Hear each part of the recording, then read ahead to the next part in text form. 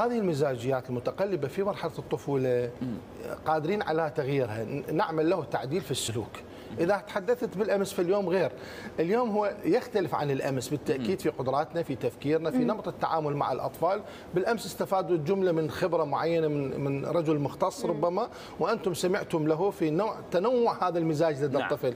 اليوم ستسمعون كيف نغير في مزاج الطفل. حلو. يعني إحنا الطفل بالنسبة لنا لا عالم مجهول غريب مثل كأنما واحد يحاول يكتشف قارة جديدة أو كوكب جديد في هذا. الطفل لا نعرف متى يصرخ متى يبكي متى يفرح متى يضحك.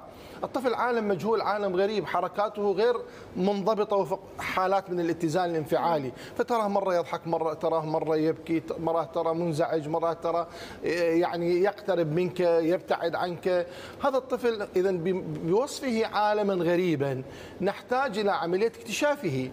ال- الخبير بهذا الموضوع هو من الجد أو الجدة الذي لديهم خبرة وإمكانية يعني وقدره في تربية الأطفال. وصار عندهم طيب. خبرات واسعة في هذا الم... يقول له مثلا ال- البنت لا تتعاملين مع الطفل بهذه الطريقة تعاملي معه مع هذه الطريقة. ربما الأم تريد تلبسه ملابس معينة هو هو مو ما يحب الألوان.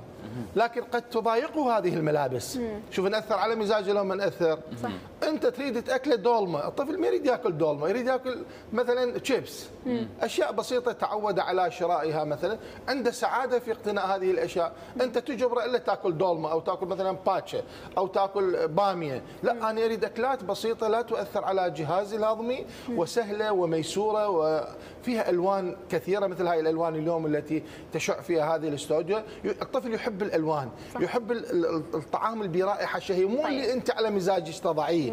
شوف الحليب ما بيفد رائحة قوية مثلا نفاذه بحيث إنه يجوز إحنا نكره الحليب. لكن الطفل يحب الحليب. لأن تعود على طيب إنه دكتور. يعطيه راحة راحة ويعطيه إنزيمات مفيدة لجسمه. اذا نحن من غير مزاج الطفل؟ نحن من جعله عصبي. يعني ممكن تغيير. نعم نعم. لون الغرفة في بعض الأحيان قد يك- يكون مثير للطفل اللون الأحمر مثلا أو نخلي له مثل هذا الألوان ال- البرتقالي يزيد شهيته مثلا للطعام.